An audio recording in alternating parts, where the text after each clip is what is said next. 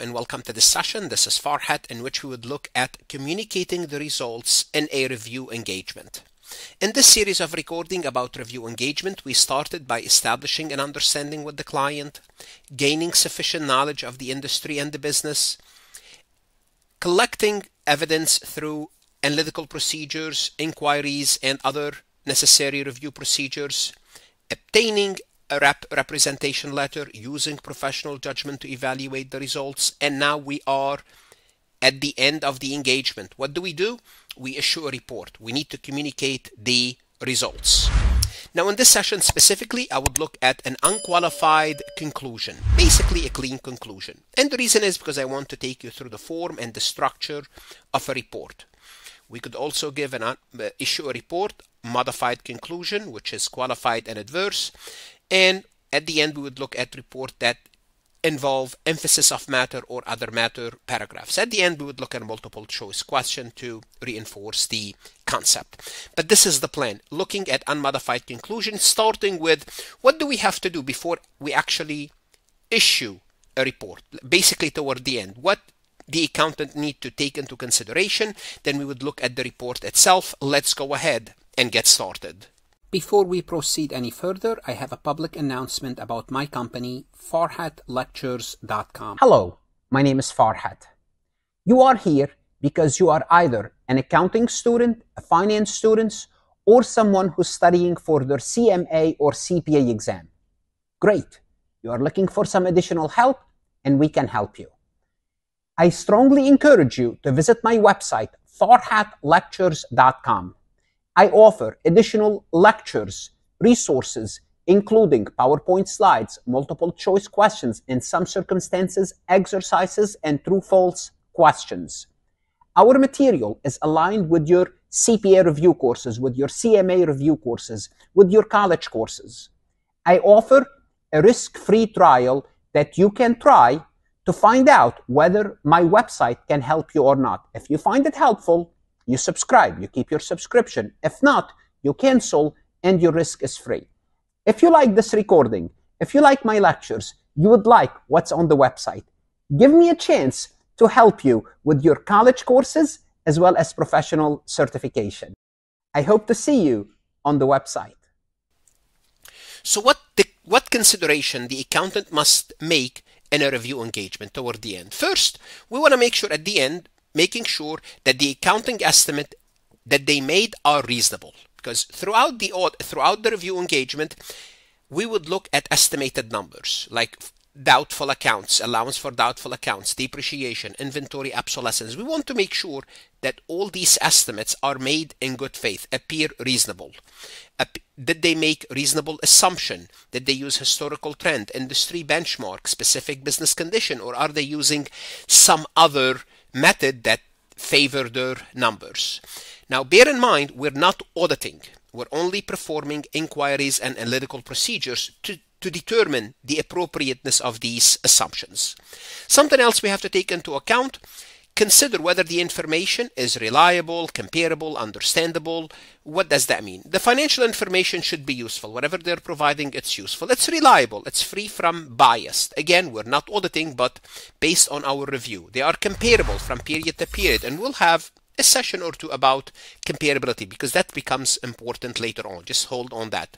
And making sure they are understandable. This is basically a final review. The presentation is clear with adequate description, classification, disclosure.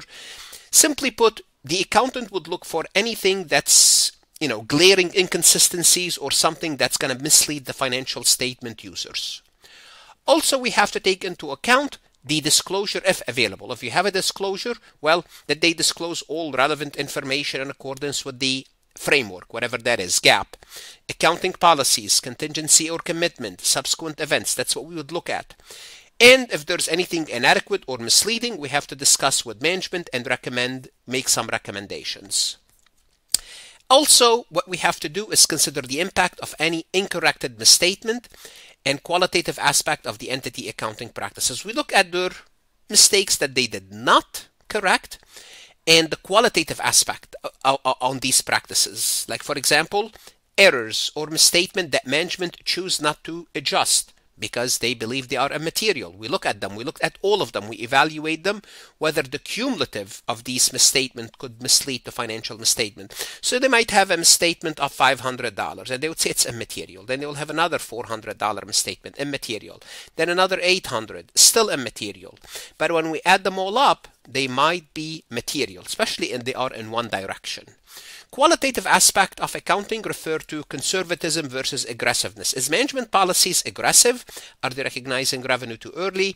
Are they consistently using the same policies from period to period because you want them to be comparable, the financial statement to be comparable?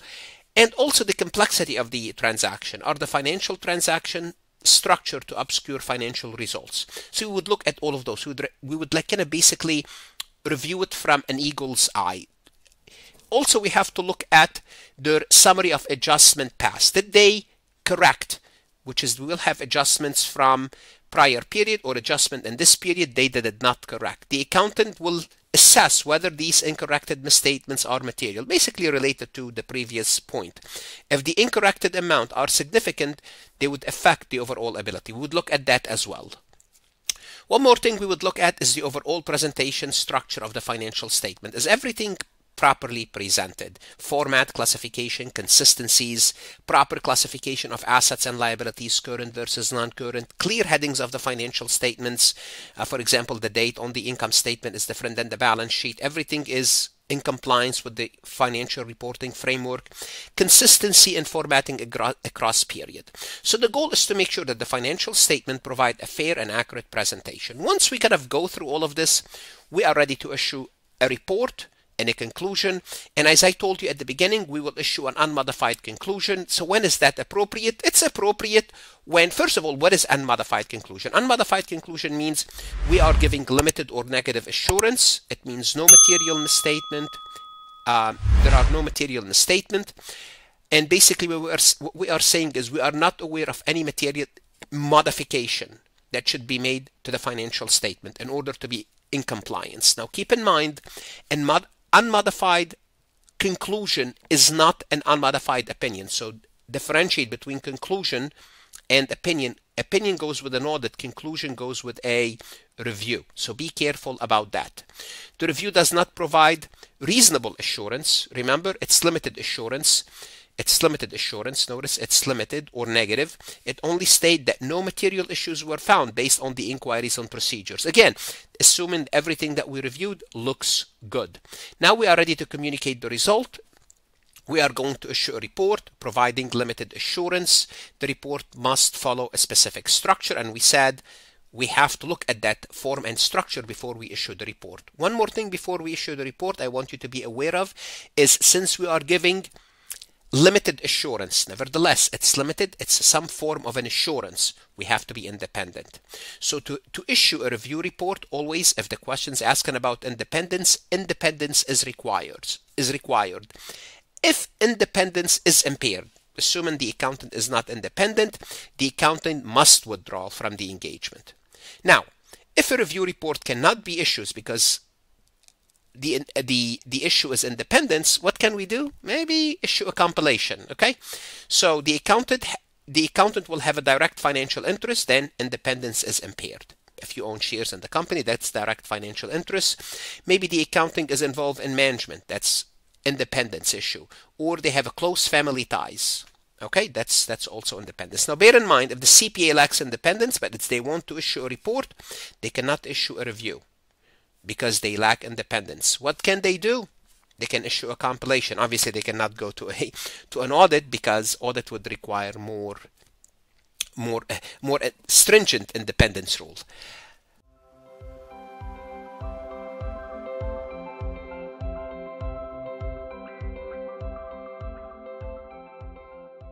Let's take a look at this multiple choice question from farhatlectures.com. All the following paragraphs would be included in a statement review under SSARS except opinion, intro, management responsibility, accountant responsibility. Let's start with the easy one.